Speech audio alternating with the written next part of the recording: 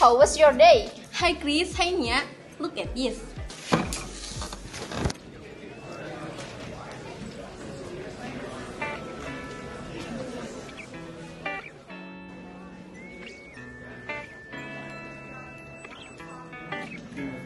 What is that? It is an uphill down experiment video. This is weird, isn't it? That's so weird. Yeah, it looks like breaking the law of physics. It felt illegal. It must be an edited video, right? I don't know. The video doesn't profit anything more than this. Can you imagine?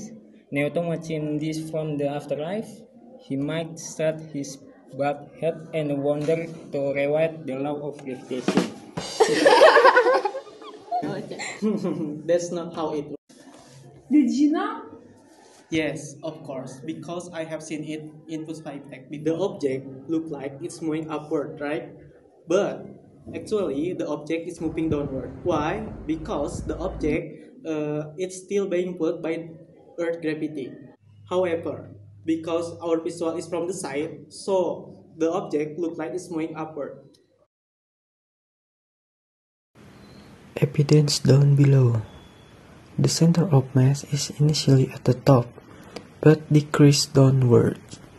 Contact point of mass, which start at the bottom of the cone, become increasingly wider towards the center of mass. Things that influence why this can happen. First, the shape of the object cone with the center of mass at the tip, and then from a pipette track from bottom to top. This makes the object appear to be rolling upwards. Oh. Yeah, and by the way, this experiment is great way to learn about the law of physics, especially the law of gravity.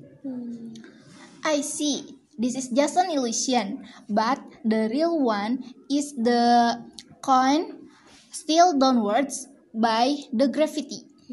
Right. Newton must be rubbing his bald head with a smile right now. Yeah, sometimes uh, the world can be stranger than we imagine.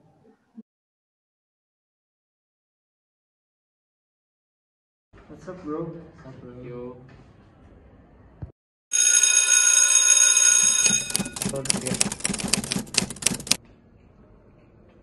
Attention everyone, we are set to embark on our group today. Please gather promptly in the lobby as we recite the litany together and please make sure not to be late. Okay. Hey, what did the lecturer just teach? It's just about the chance acceleration experience. Then explain it to me, brother. Sure, I have a video about it. I'll send you now. Oh.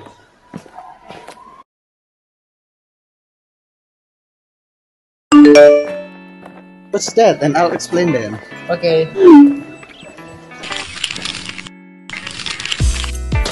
This exhibit shows uh, Newton's second law of motion. We will see how the balls reach the bottom of the different tracks at different times. Do you think which ball is the fastest? The first ball, second ball, or the third ball? Ball number one is the fastest, alright? I am on number three. I agree with Adha. I'm sure ball number 3 will arrive first. Let's see the video first.